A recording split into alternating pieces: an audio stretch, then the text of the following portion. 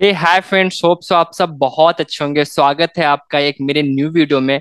और आज मेरे साथ इर्शाद सर हैं एंड सीएमए प्रदीप ध्यानी जी है। तो आज इस सेशन में मैं आपको बताने वाला हूँ। मेरे पास काफ़ी सारे स्टूडेंट्स के रिक्वेस्ट आ रहे थे एंड इनफैक्ट प्रदीप के पास भी आ रहे थे कि वो फीको कोर्स को करना चाहते हैं। हमारे पास ऑलरेडी सीओ बैच चल रही है और काफ़ी सारे स्टूडेंट्स क्लासेस कर रहे हैं। एंड फीडबैक भी सारे स्टूडेंट का पॉजिटिव है। मैंने खुद फीडबैक लिया है सबसे। तो फीडबैक भी पॉजिटिव आ रहे हैं सीओ बैच के लिए एंड फीको बैच का रिक्वेस्ट आ रहा है स्टूडेंट से। रीजन क्या है? बहुत सारे पर्सन हैं जो ऑलरेडी फाइनेंस फ़ील्ड में वर्क कर रहे हैं तो वो अपना कैरियर फ्यूचर फाइनेंस फ़ील्ड में ही बनाना चाहते हैं इसलिए वो फीको बैच के लिए रिक्वेस्ट रेज कर रहे हैं। सो so, आज हम आपको बताने वाले हैं कि फीको बैच के बारे में और सर स्टार्ट करने वाले हैं फीको बैच सो हाय सर कैसे हैं आप? हाय हाय रोहन हाय प्रदीप कैसे हो? मैं तो बहुत अच्छा हूँ आप बताओ कैसे हो? बस बस बहुत अच्छा चल रहा है। और प्रदीप जॉब कैसी चल रही है आपकी? Uh, fine currently yes uh, uh, Rohan we are working from home and uh, maybe they are uh, two days uh, in a week uh, we need to uh, work from office Great, great. So. Sir जैसा हम लोगों के पास से problems है कि फीको batch के लिए काफ़ी रिक्वेस्ट आ रहे हैं तो फीको बैच के लिए आप क्या कहना चाहते हैं हाँ रोहन एक्चुअली क्या है कि आपने मेरे को तो पहले भी बताया था कि सर आप एक बैच और स्टार्ट करो जो एफ़ आई सीओ से रिलेटेड हो फीको के हम्म। लिए हो। हम्म हम्म, क्योंकि बहुत सारे ऐसे भी स्टूडेंट हैं जो उनको फीको सीखना है। बट मैंने उस समय आपको बताया था कि अभी क्या है कि मेरे पास अभी थोड़ा सा टाइम का वो है। टाइम बाउंडेशन है। Actually I am not getting a more time आप देख सकते हो कि मैं अभी भी ऑफ़िस में बैठा हुआ हूँ। इवन कल सैटरडे है तो सैटरडे को भी कभी कभी ऑफ़िस में तो टाइम नहीं था अभी तक। फिर आपने मुझे ये भी बताया कि आपकी जगह सर कोई और ट्रेनर हो। तो वो भी ऑप्शन सही था कि और भी हैं मेरे सर्किल में तो काफ़ी हैं जो एफ़ सी मतलब बिलोंग करते हैं। बट कुछ चीज़ें ऐसी थी कि अगर हमने उन्हें दे दिया अगर वो क्लास नहीं खत्म करते हैं। सीरियस लेने की बात थी। अब हम्म जैसे मेरा क्या है तो मैं तो अब जब क्लास लेना है तो पूरा का पूरा बैच भी खत्म करना है। बीच बीच में क्वेरीज भी आती हैं स्टूडेंट्स के उनकी क्वेरीज आती है उनको भी हैंडल करना है। तो सारी चीज़ों को करना है। अब क्या पता कोई तीसरा बंदा अगर हो या कोई नया फैकल्टी हो वो सीरियस लेगा या नहीं लेगा? इसलिए मैं थोड़ा सा डाउट में था लेकिन जैसा कि आप लोगों का कई बार से ये है रिक्वेस्ट कि सर एक तो स्टार्ट करो क्योंकि हम्म। कुछ ऐसे भी हैं जो सीखना चाहते हैं लेकिन अभी वो नहीं सीख पा रहे हैं। देन फिर मैंने डिसाइड किया है कि ज़्यादा तो नहीं ठीक है एक से दो batch let's start of one और two batch only related to F I C only एक से दो बैच जो है स्टार्ट करते हैं एफ़ आई सी मैं मैनेज करूँगा टाइम को मैं मैनेज करूँगा कोशिश करूँगा ठीक है और उसको स्टार्ट करते हैं। चलिए अगर ऐसी बात है तो आप दोनों की बात मैं रखता हूँ और हम एक स्टार्ट करते हैं फीको का भी एक बैच सो सर एक क्वेश्चन और भी है जैसे आप फीको का बैच स्टार्ट कर रहे हैं तो इसका कोर्स ड्यूरेशन अप्रोक्स कितना हो सकता है? जैसे सीओ का हमारा forty two forty five hours fifty hours के अप्रोक्स हो हाँ। जाता है। अगर हम उसकी बात करें तो सीओ में भी सेम है। सॉरी एफआई में भी सेम है। यहाँ तक कि एफआई में हम ये कह सकते हैं कि एफआई में कुछ टॉपिक्स ज़्यादा हैं एफआई आई में थोड़ा सा और ज़्यादा लग सकता है। जैसे फोर्टी फाइव आवर है तो हम अप्रोक्स जो है फिफ्टी फिफ्टी आवर लेकर के चलते हैं। या फिर हम फोर्टी फाइव ही लेकर के चलते हैं। थोड़ा बहुत तो इधर उधर होता रहता है। अपार्ट ऑफ़ दिस अगर मैं एक चीज़ और मैं बताना चाह रहा था कि एफआई में थोड़ा सा एक इशू भी आता है। वो ये आता है जैसे कि हम एफआई में अ, आपको पता होगा कि ईसीसी ईसीसी भी एक एसएपी का ही वर्जन है जो कि थोड़ा सा पुराना है। और एस फॉर हाना जो कि अभी नया वर्जन आया हुआ है। और मार्केट में क्या है? डिमांड तो देखो दोनों की है, चाहे ईसीसी हो, चाहे एस फॉर हाना हो। हाँ एस हाना है तो वेल एंड बेस्ट है। तो उसमें क्या है कि एसएपी की एक फंक्शनैलिटी है, ठीक है? एक छोटी सी फंक्शनैलिटी है, बहुत बड़ी फंक्शनैलिटी नहीं है, जैसे कि उसमें हम हाउस बैंक क्रिएट करते हैं। अब हाउस बैंक जो क्रिएट करते हैं, वो हम एसएपी में डायरेक्ट नहीं कर सकते। एक्चुअली एसएपी का एक और ऐप कह सकते हैं या फिर एक और वेब ब्राउज़र है, जिसे हम कहते हैं फ्यूरी फ्यूरी ऐप वो उस पर डिपेंड करता है। यानी अगर हमें वो वो फंक्शनैलिटी अगर करनी है तो हमें फ्यूरी ऐप भी चाहिए। विदाउट फ्यूरी ऐप हम वो कर नहीं सकते। ठीक उसी तरीके से डेटा माइग्रेशन के लिए पहले ईसीसी में L T L S M W होता था। अब एस फोर हाना में क्या है कि एल टी एम सी है। तो एल टी एम सी के लिए एक डिफरेंट ऐप है।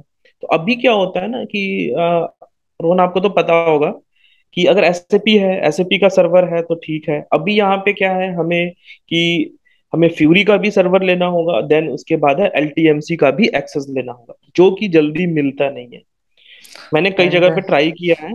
हाँ हम्म और दूसरी बात ये भी है सर कि अगर अगर हम ले भी लेते हैं तो कॉस्ट काफ़ी इंक्रीज हो जाएगा और आउटपुट हाँ नहीं आएगा। जितना कॉस्ट इंक्रीज होगा उस उस रिस्पेक्ट में आउटपुट नहीं आएगा। तो बेस्ट स्टूडेंट्स के लिए भी यही है कि वो जो सर्वर हम मतलब प्रोवाइड कर रहे हैं उसके थ्रू क्लासेस ले approx five to ten hours का वो एक कॉन्सेप्ट है फाइव टू टेन मिनट्स का सॉरी जो कि हाँ जो कि हमें डिस्कस करना है तो मैं ये सोच रहा था कि एक काम करेंगे। सारा हम्म। का सारा जो है कि हम एस फॉर हाना में पढ़ेंगे ठीक है? एसपोर हाना में कवर कर दूँगा मैं। लेकिन अ पार्ट ऑफ़ दिस अगर मैं फ्यूरी की बात करूँ ठीक है? जहाँ पे फ्यूरी आ रहा है टेन मिनट्स का तो वो चैप्टर या फिर वो टॉपिक जो है हम ईसीसी में भी कवर कर सकते हैं। ठीक है? तो ऐसा होगा कि जो भी हमारे स्टूडेंट्स होंगे उनको क्या होगा? ईसीसी का भी नॉलेज हो जाएगा देन उसके बाद एस फॉर हाना का भी नॉलेज हो जाएगा। मेरे ख्याल से ये सबसे बेस्ट रहेगा। सर एक क्वेश्चन है अच्छा मेरा। अगर स्टूडेंट हाँ एक हाँ क्वेश्चन है मेरा स्टूडेंट्स को मे बी इस वीडियो के ड्यूरेशन में ये क्वेश्चन अराइज ज़रूर होगा। एफ़ आई मॉड्यूल और कंट्रोलिंग जो मॉड्यूल है उन दोनों में अगर आप बता सके डिफरेंस हल्का हल्का क्योंकि ये क्वेश्चन उनके माइंड में पक्का आएगा। हाँ श्योर देखिए एफ़ आई जो मॉड्यूल होता है, वो बेस होता है, ठीक है? आप ये समझ लो बेसिस होता है। F I module is related to a financial accounting and CO is related to a cost accounting और हम ये भी कह सकते हैं कि एफ़ आई में वो सारी की सारी एक्टिविटीज़ आती हैं जो फाइनेंशियल फाइनेंशियल अकाउंटिंग से रिलेटेड होता है। That means every transaction which done by external party of the companies ठीक है? या फिर हम ये कह सकते हैं कि एफ़ आई में सारी की सारी एक्टिविटीज़ वो आती हैं जिसमें हम एक्सटर्नल एक्टिविटीज़ होता है। जैसे वेंडर वेंडर कौन है? हमारी कंपनी का नहीं होता। वो बाहर का होता है। कस्टमर कस्टमर से जो भी हम लेन देन और ट्रांजेक्शन हो रहा है, वो भी बाहर के थर्ड पार्टी है। एक्सटर्नल एक्टिविटी है। सेम लाइक दिस अगर हम एसेट्स है तो एसेट्स भी हम परचेस करते हैं बाहर से। ठीक है? दैट मीन्स हम ये कह सकते हैं all external activities are including in F I और एफ़ आई में कुछ सब मॉड्यूल्स होते हैं, जैसे जीएल हो गया एपी हो गया एआर हो गया then assets accounting cash cash management या फिर cash accounting a part of this इस तरीके से कुछ छोटे छोटे मतलब सब मॉड्यूल्स हैं। अब आ जाते हैं CO CO in the sense of a controlling और हम इसे मैनेजमेंट अकाउंटिंग भी कहते हैं। इसमें क्या होता है कि all activity that is related to a company internal activity of the company या ऑल कंट्रोलिंग में वो सारी की सारी एक्टिविटीज़ आती हैं, जो इंटरनल एक्टिविटीज़ होती है, यानी कंपनी के अंदर के जो एक्सपेंसेस होते हैं। अब जैसे सपोज़ दैट अगर मुझे कोई कंट्रोलिंग में प्रोडक्ट कॉस्ट प्लानिंग करना है, या फिर प्रोडक्ट कॉस्ट बनाना मतलब कोई, मैं कोई चीज़ प्रोडक्शन करने जा रहा हूँ तो प्रोडक्शन करने से पहले क्या होगा, हमें उसको पहले कॉस्ट निकालना होगा स्टैंडर्ड कॉस्ट डिटरमाइन करेंगे। ठीक है देन उसके बाद डिटरमाइन जब हो जाएगा, फिर हम उसका प्रोडक्शन स्टार्ट करेंगे, फिर एक्चुअल कॉस्ट आएगा, फिर वेरिएंस आएगा फिर सेटलमेंट आएगा ठीक है? तो उसको हम कैसे सेटलमेंट तो ये all all these are activity is related to internal activity यहाँ पे क्या होता है? टैक्स अथॉरिटी या टैक्स से रिलेटेड कोई ट्रांजेक्शन नहीं है। सीओ में टैक्स से कोई मतलब नहीं है।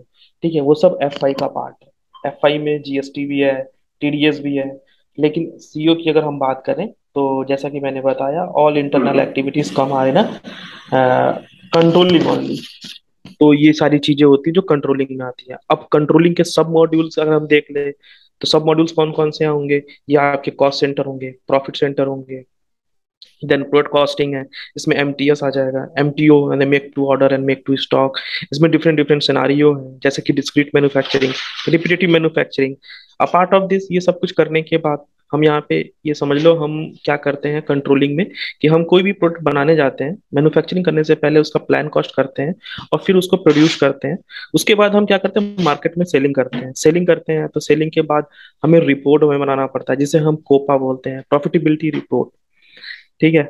या फिर हम इसे कंट्रोलिंग प्रॉफिटेबिलिटी या कोपा के नाम से जानते हैं। तो ये all these activity are related to a controlling हालाँकि अभी तो मैंने ऐसे ही बता दिया अभी उसमें नहीं आएगा ये चीज़ ऐसी है जो बैठ करके और एक एक चीज़ लिख करके समझाने वाली चीज़ है तब उसमें ज़्यादा समझ में आता है। तो फ़िलहाल अभी के लिए ये ठीक है।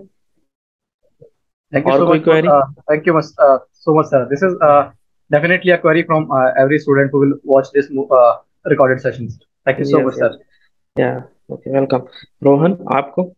नहीं और कुछ नहीं है बस फीको के लिए हमारा बैच स्टार्ट होने वाला है। आई थिंक कब से हम बैच स्टार्ट करेंगे सर मे बी मुझे लगता है कि हम एक काम करते हैं कि जब हमें स्टार्ट करना ही है और हमने ये सोच लिया है कि हमें स्टार्ट करना है तो हम एक काम करते हैं रजिस्ट्रेशन स्टार्ट करते हैं और रजिस्ट्रेशन स्टार्ट करने के बाद विद इन फिफ्टीन डेज़ में हम क्या करेंगे कि बैच स्टार्ट कर देंगे। हाँ। ठीक है। और इस बैच की टाइमिंग हम क्या करेंगे? सैटरडे संडे ही होगा लेकिन इनका हम मॉर्निंग या हम एक काम करेंगे उसी समय जैसा स्टूडेंट होंगे सुटेबल जो टाइम होगा उसी समय हम चेक कर लेंगे। ठीक है? Okay hmm. ठीक है सर तो फिर ठीक है तो एक काम करेंगे हम एफ़ आई स्टार्ट करते हैं और एफ़ आई में जो कि मैंने आपको बताया फ्यूरी वाला और एल टी एम सी जो एक थर्ड पार्टी ऐप है जो कि हम्म। जल्दी मिल नहीं पाता फिर यूटिलाइज भी नहीं हो पाता उन दोनों टॉपिक को हम ईसीसी में कवर करेंगे। ईसीसी में कवर करेंगे तो स्टूडेंट्स को ये फ़ायदा होगा कि उनको ईसीसी का भी नॉलेज हो गया और एसपोन आना का भी ठीक है उसका भी नॉलेज हो गया यानी ओल्ड वर्जन और न्यू वर्जन दोनों उनको नॉलेज हो जाएगा। ठीक है सर ठीक आप ना ये अपना कोर्स कंटेंट बना के मुझे एक बार सेंड कर दीजिएगा। जिससे फिर मैं आगे स्टूडेंट्स को प्रोवाइड कर मैं आपको और हाँ प्रदीप को भी सेंड कर दीजिएगा। श्योर हाँ डेफिनेटली मैं भी फर्दर शेयर करूँगा स्टूडेंट के साथ। ठीक है। श्योर ठीक है। ओके थैंक यू सर नहीं और कोई ओके चलो फिर thank you so much Rohan Rohan and thank you so much Ehsaas sir thank thank you thank you both of you okay चलो bye take care bye bye sir thanks